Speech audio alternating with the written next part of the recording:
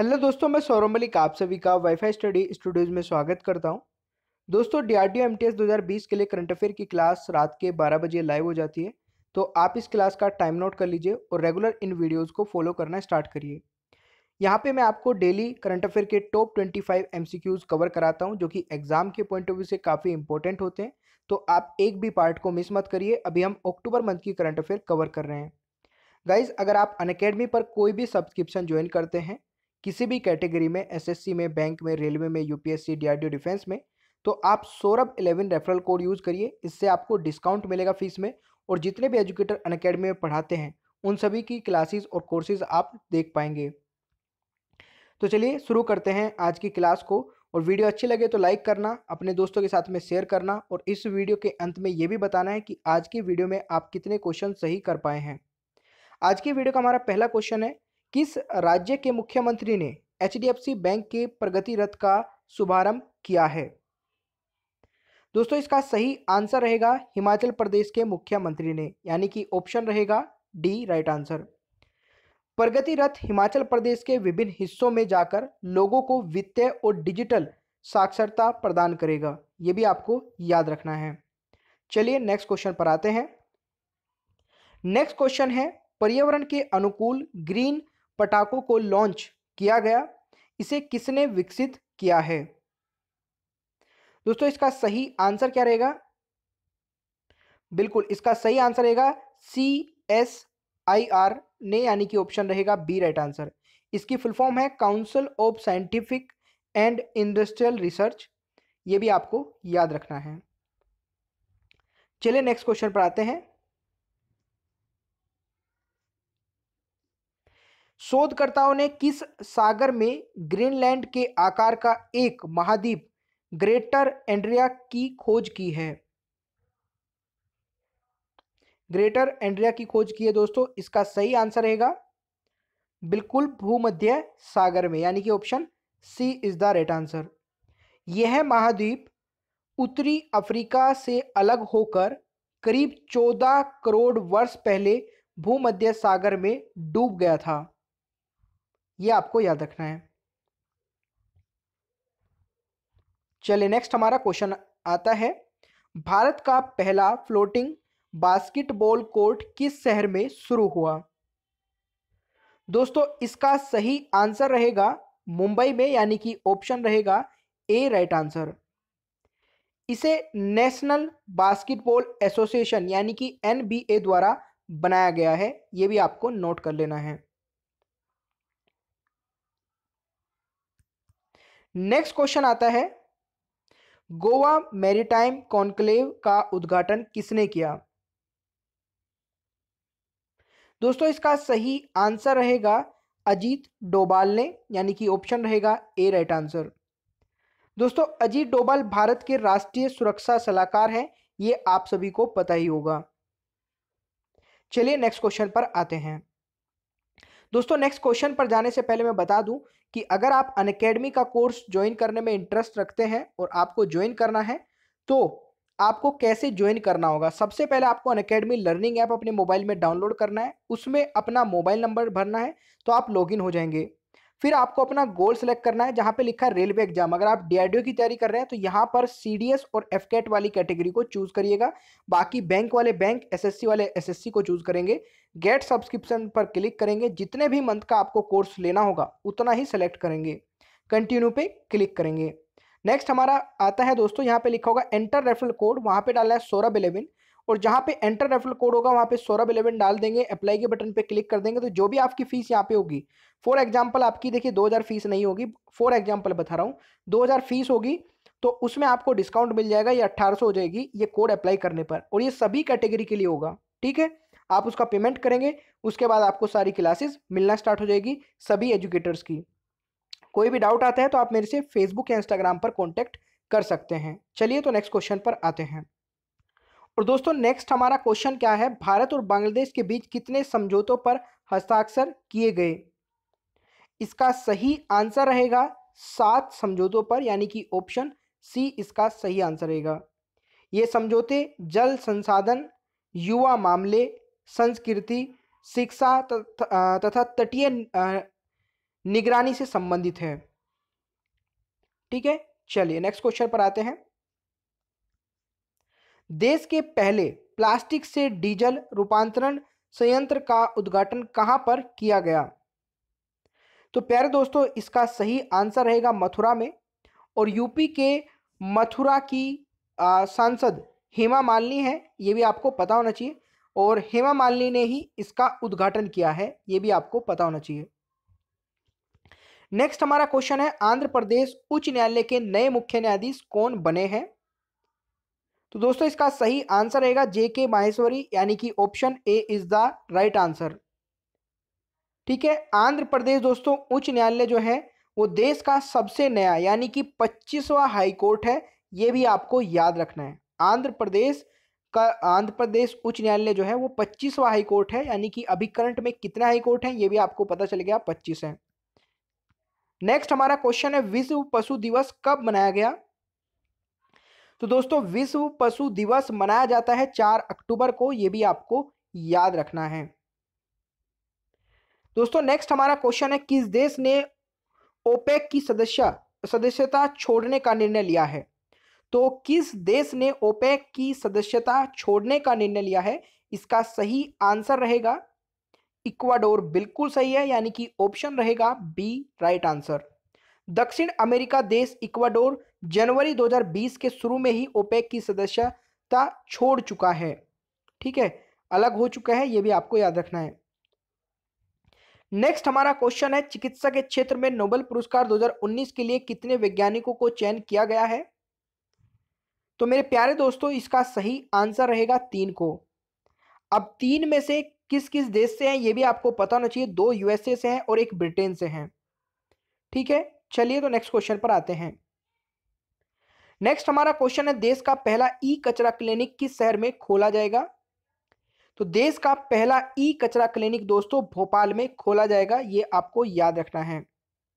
इसके लिए भोपाल नगर निगम यानी कि बीएमसी और केंद्र प्रदूषण नियंत्रण बोर्ड यानी कि सीपीसीबी ने समझौत साझेदारी की है।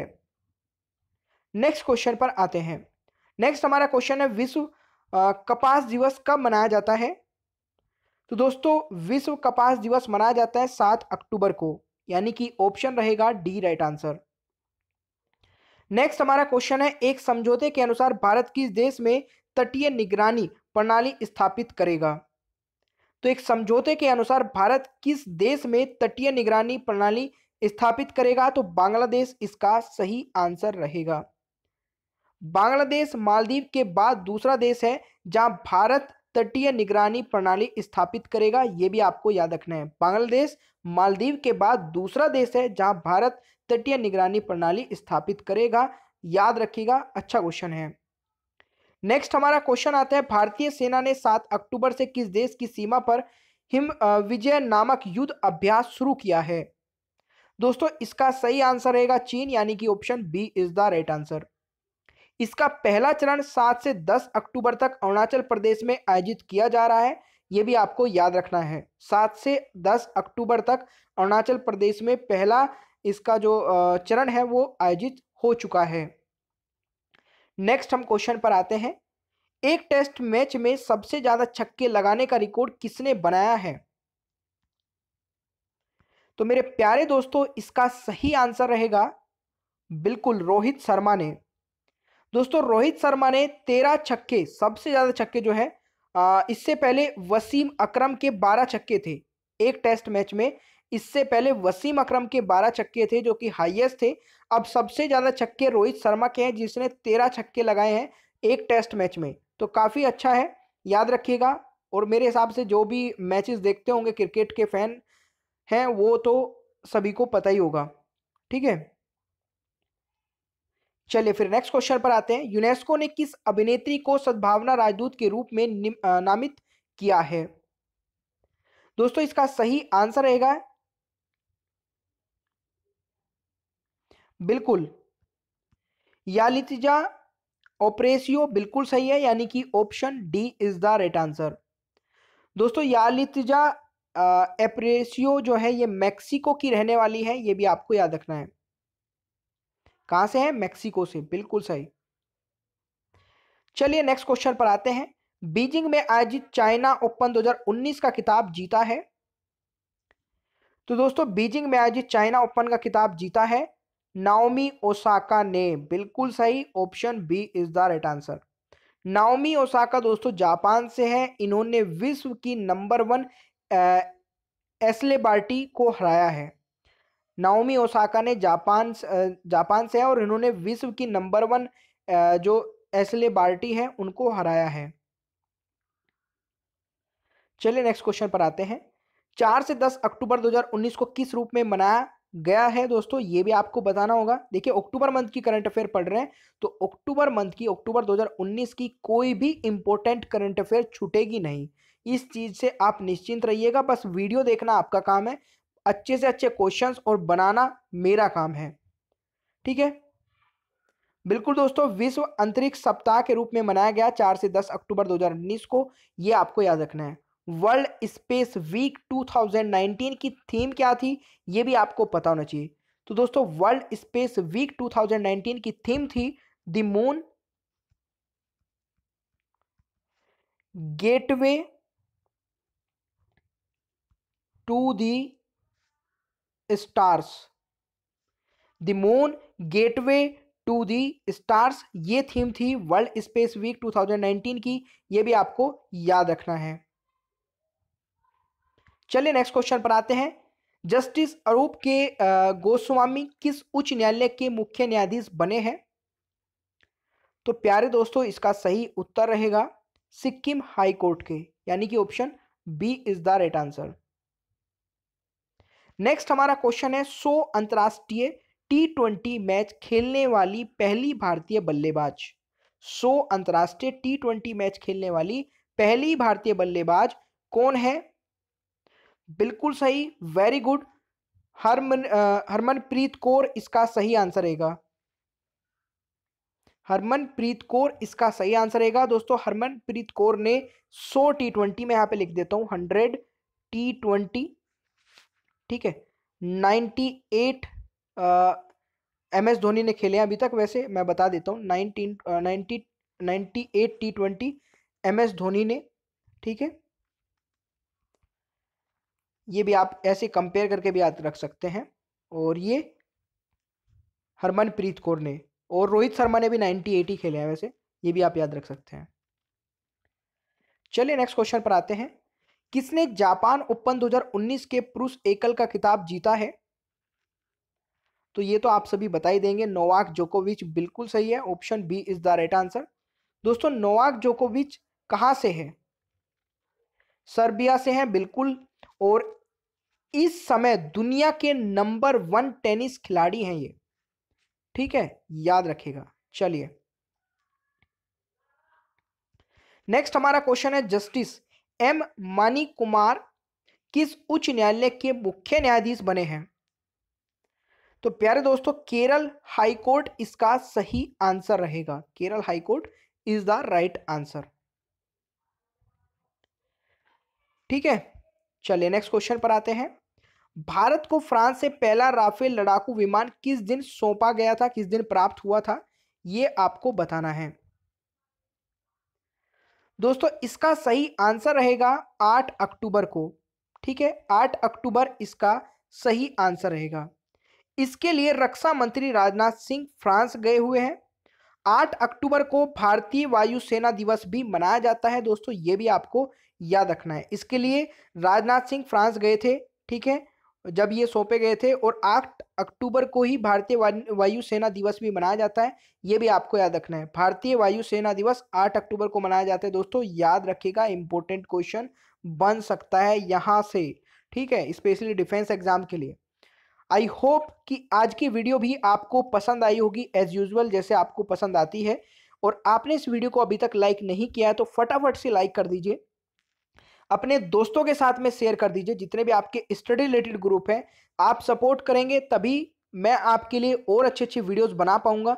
देखिए, आपके लिए अच्छा कंटेंट ज़रूरी है। मतलब आप तैयारी कर रहे हैं तो मेरा फ़र्ज़ बनता है कि आपको अच्छा कंटेंट दे। बट आपका फ़र्ज़ बनता है कि इस वीडियो को जितना हो सके शेयर करके अपने दोस्तों तक पहुंचाएँ, क्योंकि मेरा, मैं आपके लिए तभी कुछ अच्छा कर पाऊँगा जब आप मेरे लिए, मेरे को सपोर्ट करोगे। है ना?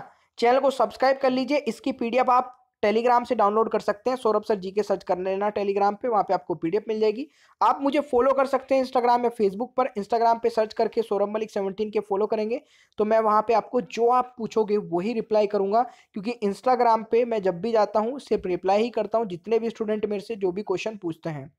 फेसबुक पर भी आप पूछ सकते हैं। फेसबुक पर मेरा नाम सौरभ मलिक है, आप सर्च करके फॉलो कर सकते हैं।